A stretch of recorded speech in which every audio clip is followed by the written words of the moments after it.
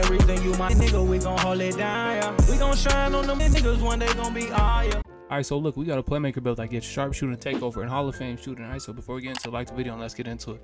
PG position. You can choose whatever you want. PG position. We're gonna go with the balance between shooting and playmaking, alright?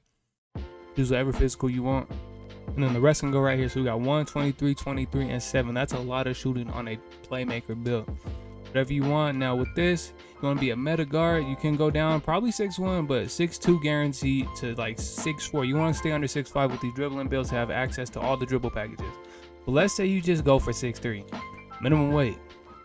Do this on all the heights. Now the wingspan, you want to max out.